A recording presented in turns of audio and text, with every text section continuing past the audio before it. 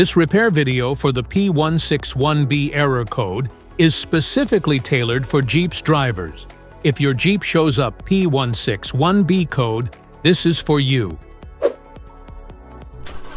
It indicates that vehicle lost power during the battery swap. When this happens, the PCM and TCM recognize the power lost and triggered the code.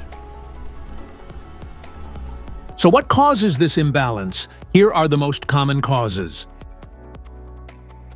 Battery issues.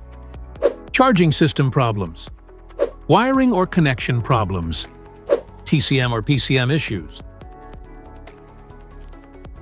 Here are two simple DIY methods to fix the error code. Method A, the Transmission Control Module. The transmission control module can often be found below the cover at the back of the transmission case. It should be just below the engine control module's position. Visually check the transmission control module itself and its electrical connections for any damages. If the damages are found, then replace the transmission control module. MAF sensor.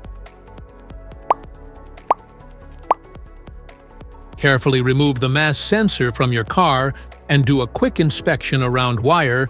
Inside often gets dirty and needs to be clean.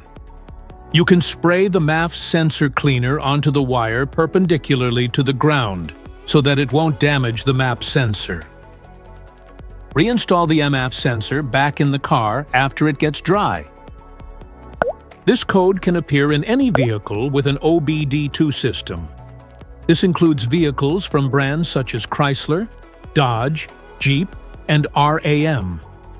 It also appears in GM vehicles, including Chevrolet, GMC, and Cadillac, and can sometimes show up in Ford vehicles. If you like this video, don't forget to subscribe to our channel. Thanks for watching.